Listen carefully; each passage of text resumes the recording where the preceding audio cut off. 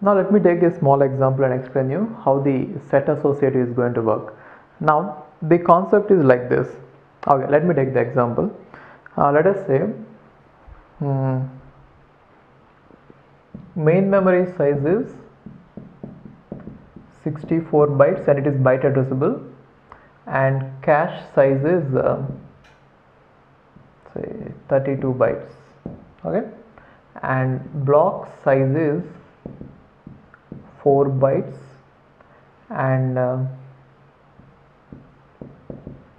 set size is here I am going to talk about set. Set size is 2 blocks. Okay these are all bytes and here it is block which means there are uh, now two two blocks are combined into a set. That is the meaning of this. Okay? Hmm. and then so since the set size is 2 it is also called as two-way set associative. The reason is uh, initially we use the direct mapping in order to get into the set and after we get into the set we are going to use associative right. So that is why it is called as set associative two-way set associative okay fine now let's get into the details. So uh, okay first now I'm talking about the cache. So in the cache number of lines right? So set size should be two lines. Two lines means you know you can understand it better. So number of lines in the cache equal to cache size divided by block size or line size uh, which is 8 lines. Okay? And then number of sets equal to number of lines divided by set size right? So how many number of lines are there? 8 lines divided by what is the set size? 2 so which is nothing but 4 sets. Okay? So now we have a cache. In the cache there are 8 lines and all the 8 lines are divided into 4 sets. That is the meaning of it. Now I have a cache in which I have 8 lines. 1 2 3 4 5 6 7 8 lines. And all these 8 lines are divided into 2 2 uh, lines are combined into one set right? Then how many sets did we get? We got 4 sets. 1 2 3 4 right? So this is set 0 this is set 1 this is set 2 this is set 3 right? And what about this? This is uh, you know uh, block line 0 line 1 line 2 line 3 line 4 line 5 line 6 line 7 got it? And what about the main memory? Main memory is having 64 bytes right? So main memory is also having 64 bytes therefore and in main memory we don't have sets we have only blocks so in main memory, if I combine 4 4 bytes into one block, right, then how many blocks I get? The number of blocks in the main memory are going to be 16, right? So 0, I mean 64, 0, 1, 2, 3, so on. The number of, uh, how many? 16 I think, yes. The number of blocks in main memory are going to be 16, which you already know it, right? Now, uh, whenever we have any physical address, right? So physical address is going to be like this so physical address is going to contain uh, you know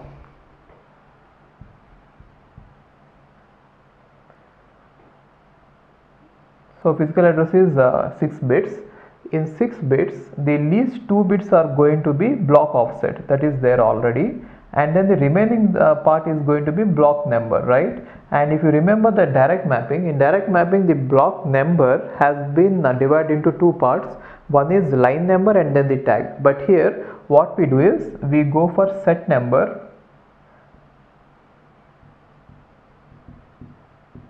set number and then the tag right?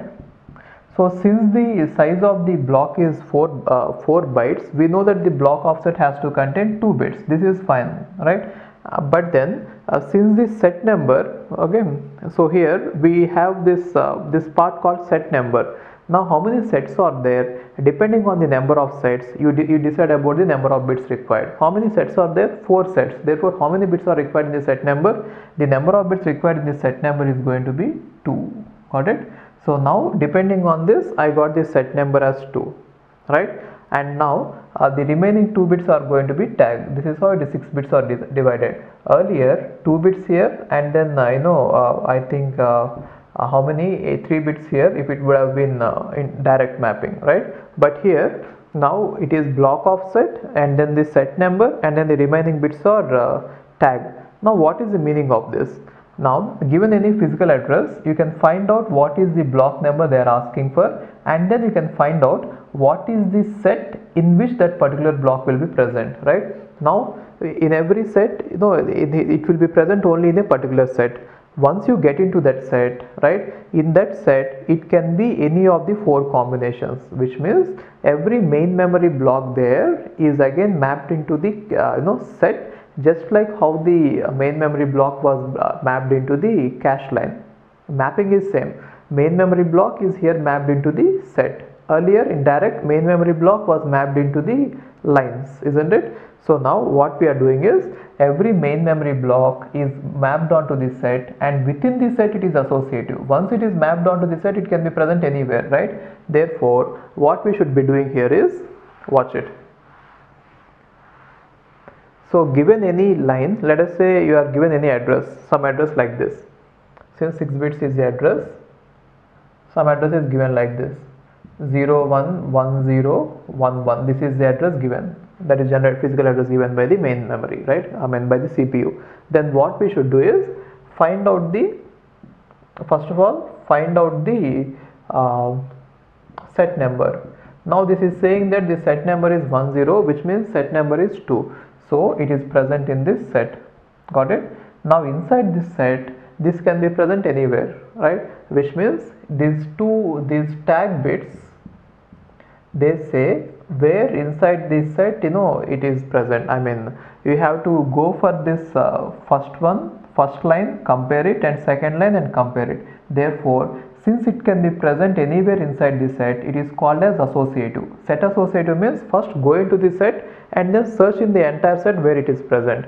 Now how can i how can i search it?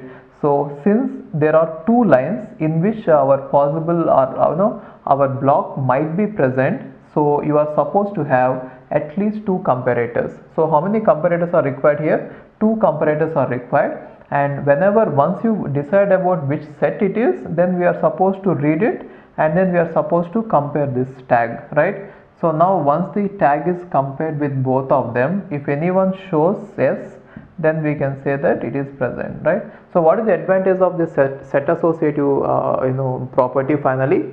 The advantage is that the number of comparators are going to be reduced. So the number of comparators reduced here are I mean required here are only 2. If there is no set associative then maybe if you use direct then 8 comparators would have been required right.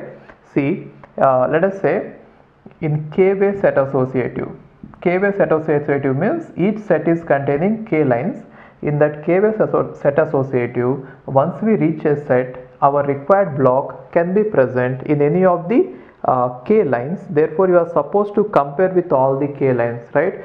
So in this case in k way set associative what happens is uh, we require k comparators. Got it?